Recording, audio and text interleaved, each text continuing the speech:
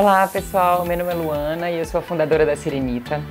E hoje a gente está aqui para poder falar desse evento aqui no Promenádio de Angra. Muito bacana, eu estou muito feliz e realizada porque foi incrível. O hotel convidou a gente porque na verdade eles já tinham as caudas.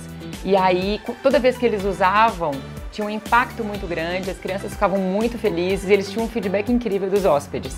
E aí, quando eles foram comprar uma remessa nova, eles entraram em contato com a gente para poder saber se a gente não podia fazer uma coisa um pouco maior. E foi muito bacana. Primeiro porque tem esse encanto das crianças, e aí é exatamente no dia das crianças, então foi muito especial, porque eram mais de 150 crianças no hotel.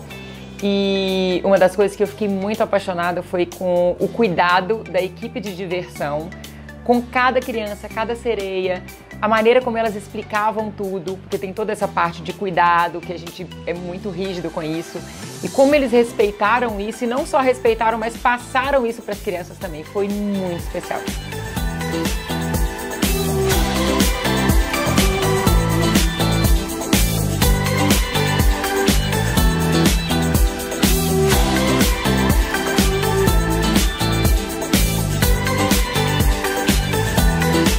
Eu quero agradecer muito ao hotel, porque foi encantador, assim.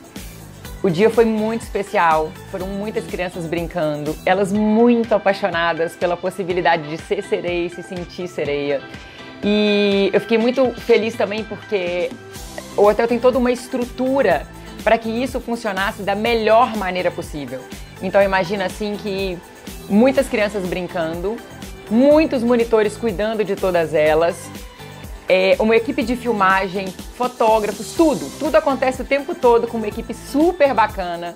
Eu realmente não esperava que fosse tão especial. A gente veio pela empolgação da coisa da sereia, que é o que a gente vive, que é o que a gente faz para poder estar tá encantando as crianças, mas realmente eu não imaginava assim a, a proporção que era e o tamanho da coisa que o hotel tinha feito.